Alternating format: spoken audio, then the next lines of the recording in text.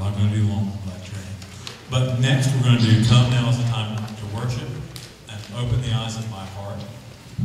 And we have a special guest this evening, Clyde Hill is gonna help us sing this last song. Clyde is leaving for Florida next Sunday, and he's gonna go back down to Florida and live, so, uh, come up here and belt her out with us, Clyde.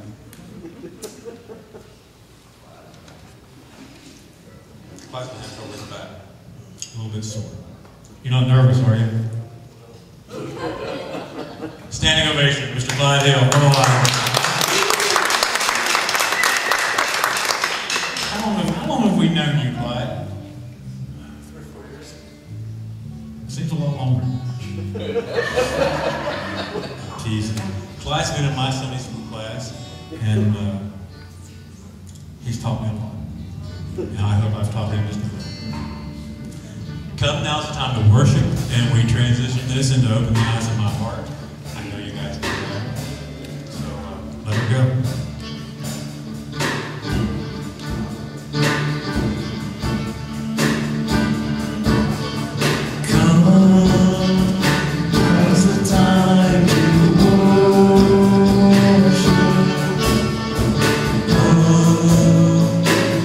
The time